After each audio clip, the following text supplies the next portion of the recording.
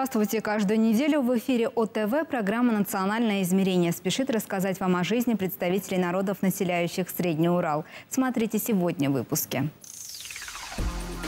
Юбилейный турнир по греко-римской борьбе провели в Екатеринбурге. С армянским праздником День дарения книг познакомили иностранных студентов УРФУ. Что зашифровано в чувашском национальном костюме, узнаем в рубрике «Национальная культура».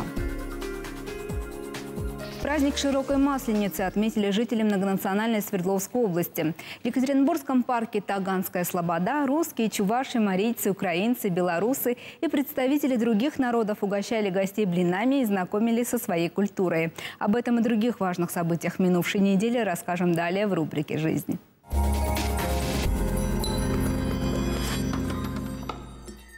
Один слой был э, из э, гречихи, второй слой из пшена, второй, например, из пшеницы. И между ними прослойками еще э, своеобразная каша была тоже из круп. Вот. Это все вместе запекалось и получился толстый слой. И ели это с медом. И на санях обязательно с гармошкой девушки, парни. И поют все песню про шварни. Хурасю Нася пла, ай полади, хурасю По-марийски уярня, по-чувашски саварни. У каждого народа свое название и даже традиции празднования Масленицы. Но суть гуляния одна – это весело и дружно проводить зиму и встретить солнечную весну. Этот праздник э, находится в душе народа. И то, что он сейчас есть и является основополагающим, объединяющим мероприятием не только православных, но и мусульман и иудеев, это уже факт. Масленица призвана сама по себе э, объединять народы. Здесь развлечения на любой вкус. Традиционные народные игры даже состязания гармонистов. Ну а самые активные смогли поучаствовать в ежегодном конкурсе частушек от областного телевидения. И даже тут без сюрпризов не обошлось. В этом году частушки прозвучали на разных языках многонационального Урала.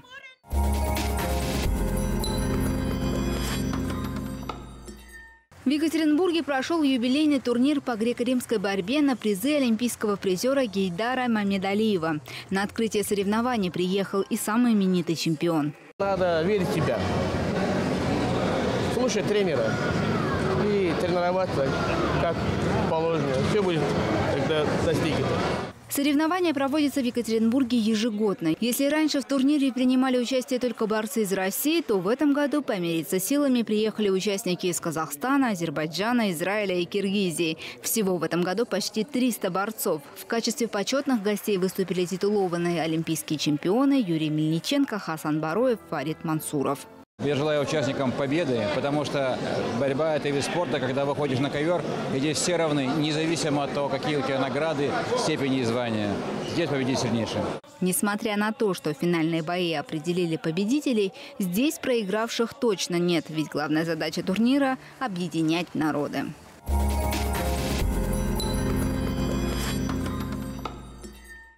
Книга всегда считалась лучшим другом и подарком. Прививать подрастающему поколению любовь к чтению – одна из главных задач, которая сейчас остро стоит у многих народов. В Армении есть даже специальный праздник – День дарения книг. Познакомить с ним решили и иностранных студентов УРФУ. Знакомитесь с историей нашей страны. Именно представители других народов э, в себе имеют очень большой серьезный посыл, так как мы не стремимся только познакомить, да, подарить книги, да, чтобы они прочитали какое-то стихотворение, стихотворение, рассказ, э, просто на этом все закончилось. У нас цель ознакомить с историей одного из самых древнейших народов мира, э, чтобы они знали, э, с кем они общаются, кто учится вместе с ними рядом и какую культуру, какой, в принципе, какой мы посыл несем себе. Именно поэтому иностранные студенты на память получили не только книги, но и смогли насладиться стихами на армянском языке. Суть данного стихотворения в том, что где бы ты ни был, в каких бы условиях не жил в других странах, территориях, а, даже если, ну, это утрированно сказано, да, забудешь свою маму, свой родной язык не забывай. То есть И данное мероприятие, и в целом, я считаю, поэзия, литература направлена как раз-таки на то, чтобы не забывать свой язык, свою культуру, историю. Стоит отметить, что дата проведения праздника выбрана не случайно. 19 февраля родился великий армянский писатель и поэт Хованес Туманян. В России он больше известен как автор армянской сказки, по мотивам которой был снят и популярный мультфильм «Пес и кот».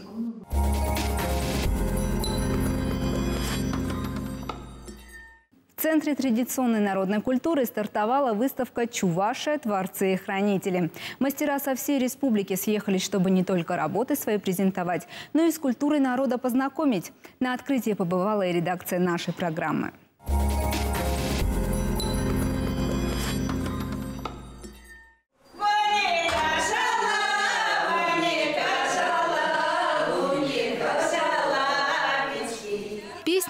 Танцами встречали всех гостей выставки «Чувашия. Творцы и хранители». Здесь более ста уникальных экспонатов разных мастеров и ремесел. Широко представлена знаменитая чувашская вышивка. Как и в гербе Чувашской республики, на изделиях изображено три солнца. Ведь по древней легенде у народа было три солнца, но злые силы убили два. Третьему удалось убежать. Настал холод и голод. Тогда народ обратился к мудрецам с вопросом, что нам делать, как вернуть солнце. Старейшины ответили, что пусть каждая чувашская женщина вышивает на своих изделиях по три солнца разными цветами. Так народу удалось его вернуть, а этот узор считается обязательным на всех чувашских изделиях. Вышивка славится своей филигранностью.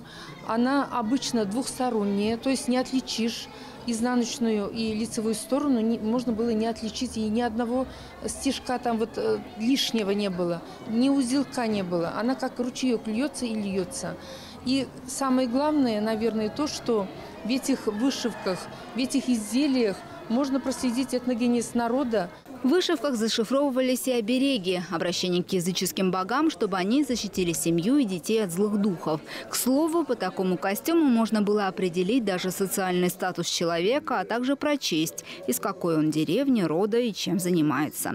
К примеру, у девушек было меньше узоров на платье, чем у замужних женщин. Отличались у них и головные уборы. Мастерица Зинаида Ивановна на выставку приехала из Чувашской республики. Она по книгам изучила и изготовила древний обрядовый колпак. Колпак отдельно не носится. Во время весенних праздников девушка поверх девичьего головного убора из группы низовых чувашей одевала вот этот колпак. Во время осенних праздников э, херзари, кирзари, так скажем, а замужняя женщина одевала поверх женского головного убора хушпу. Он очень интересный, своеобразный. И летом, когда проходили у нас праздники, а почему юноши и парни могли сразу различить а, других гостевых девушек? Только девушки, гости носили такие колпаки. И сразу можно было с ними подружиться. Выставка проводится в рамках проекта «Наследие народов Урала». Посетить ее может любой желающий вплоть до 26 марта.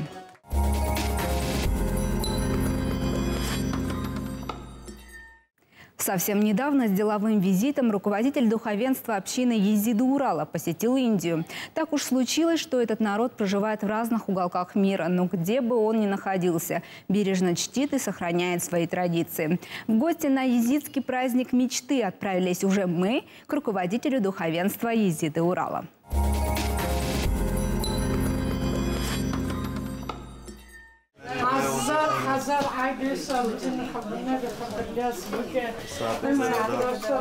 По езидским традициям отмечать почти любое торжество надо с визита в дом шеха, это духовенство народа.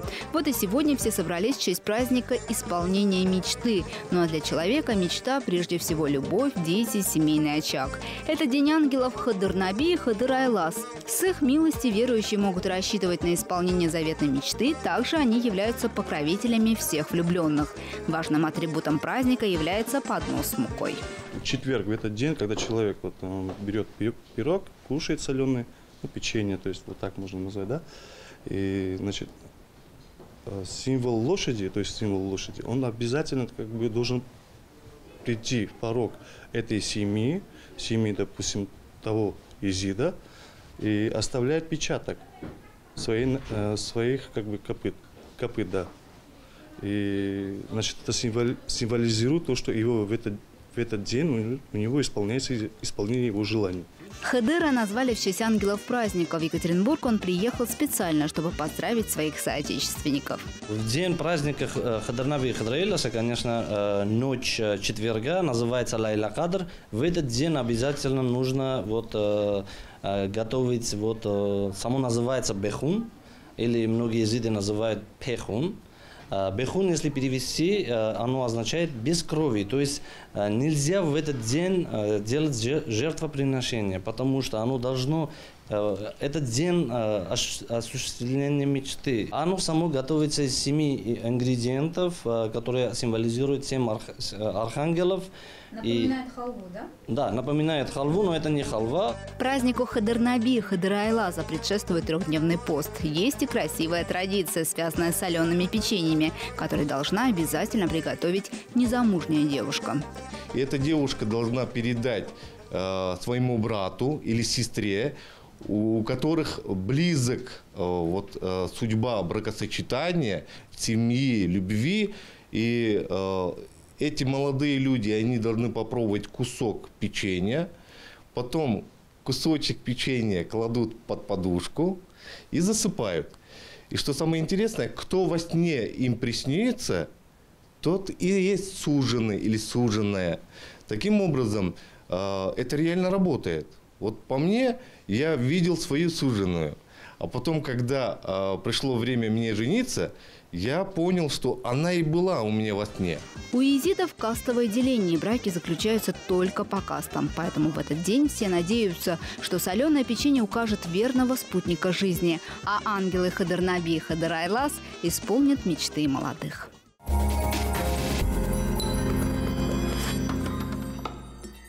Дорогие друзья, сегодня у нас греческая кухня. Представляю вам человека, который очень любит этот народ и, конечно же, саму кухню греческую. Это Алексей Баранский. Здравствуйте, Алексей. Здравствуйте. Но мы сегодня с вами здесь не вдвоем. У нас есть шеф-повар замечательный, да? Да, это наш очень наш друг и очень хороший повар, обученный в Греции. Зовут его Родон, и он нам подскажет и покажет, как нужно все-таки сделать греческий гирос со свининой. Гирос со свининой. Так, необычное название и необычные ингредиенты, или все же обычные? Они, может быть, э, и обычные, но зато очень вкусные. А что нам понадобится для гироса? У нас э, салатный лист, э, томат, э, пита. И у нас э, это специальный сос. Из чего? Э, там э, греческий сос, там это грецкий э, сос, там есть э, огурец, сметана, и специи там. Здорово. Да. Называется соус дзадзики. Соус да. дзадзики, да. И у нас есть тоже э, свинина. Э, обжаренная Да, уже. обжаренная. Либо свинина, либо курица. Ну и картошка фри, да? Да, и картошка фри, и лук, конечно. Правильно я понимаю, что это греческий фастфуд? Да, это очень популярное направление. Это греческий фастфуд. Вот. Ну, мне уже не терпится научиться готовить э, гирос. Я думаю, наш шеф-повар обучит сегодня этому. С чего начинаем? Давайте. Да. Э, сначала мы начинаем э, с, э, конечно, резать овощи, э, лук и томат, помидор. Давайте. Обязательно режем. должен быть красный лук, потому что греки Да. только красный лук предпочитают. Вот обязательно. Да, сначала резать помидор. Но вы, Алексей, э, не грек по национальности. Нет, я не грек, я русский, сам с города Сочи, переехал сюда, в Екатеринбург, и понял, что здесь нету гиросов, я очень люблю их кушать, у меня очень много друзей в Сочи, кто греческой национальности, и они мне помогли. Решили познакомить уральцев с гиросом. Да, да, да, да, потому что без гироса тяжело на самом деле жить, то есть кто его любит, вот он подсаживается на эту еду и постоянно к нам приходит. Но у вас друзья греки. Вообще в греческих э, семьях что принято готовить? Как принято угощать своих гостей? Конечно же, это большие обильные тарелки, овощные, это оливки, каламата, также греческое вино. Может быть, если есть, кто-то делает греческие э, настойки алкогольные, то есть это уза или что-то какое-нибудь другое. Вот. Также всегда должно быть на столе, они делают сувлаки. То есть это шашлычки на шпажках, то есть э, свинины, либо это сувла делается из баранины. И поэтому всегда очень большой стол, всегда очень все вкусно. Вот. Также они предпочитают, чтобы было на столе всегда мустарда, это греческая горчица, орегано везде, а, ну и греческий йогурт домашний. Мне кажется, мы начинаем уже закрывать гирос. Да, да, вот наш Родо начинает приготовление. Но сейчас, когда мы, э, помидоры и лук, сначала мы будем э, положить Лист салата, да. Обязательно а, питу прежде мы уже разогрели. То есть она не просто она в холодном виде, то есть ее нужно всегда подогревать, Но разогревать. если вот эти ингредиенты мы сможем найти на Урале, то питу можно найти на Урале или ее надо приготовить самому? А, Конечно, если ты знаешь секрет, у тебя есть э, специальные специи, э, мука, то это все можно сделать. Вот. э, Но это не, не лаваш совершенно. То есть это вот пита есть пита, она очень мягкая. Так, положили лук. Теперь э, теперь картофель. картофель. Картофель фри, да? Ну вот, мне кажется, с цветом это будет очень ярко. Даже уже Да. чисто визуально будет смотреться красиво.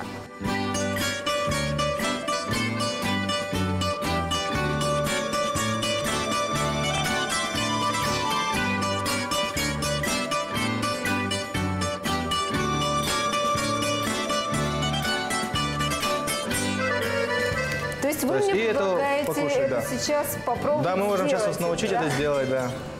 Хорошо. Я постараюсь, но не обещаю.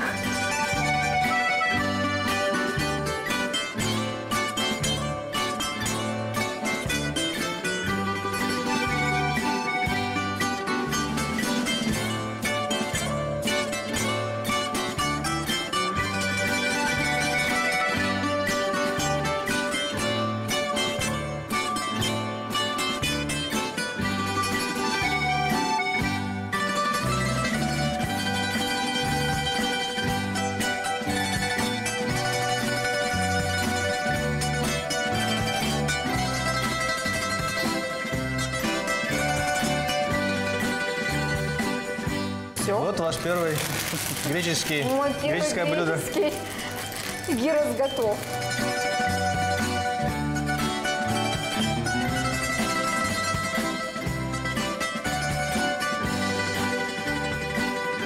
Дорогие друзья, наш греческий гирос готов. Осталось пожелать всем приятного аппетита на греческом языке. Калисос орексис.